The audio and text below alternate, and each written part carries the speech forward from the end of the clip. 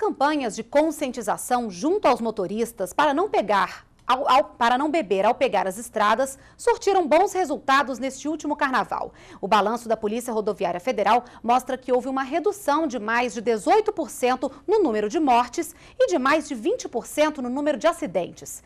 O repórter Paulo La Sálvia está neste momento na BR-040 e tem os detalhes. Paulo, boa noite.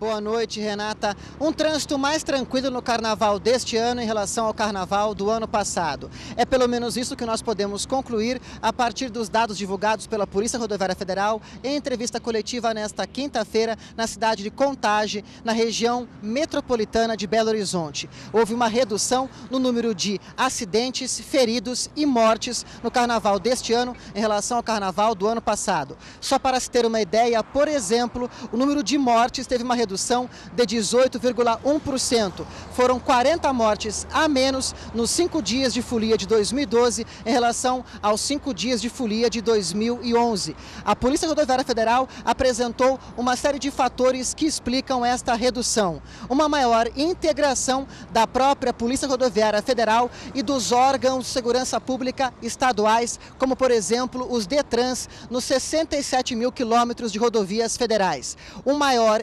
efetivo e uma melhor distribuição em pontos estratégicos, bem como você mesmo acabou de citar, campanhas de conscientização e sensibilização que levam o motorista a entender melhor que não é bom pegar o volante depois de ter ingerido bebida alcoólica.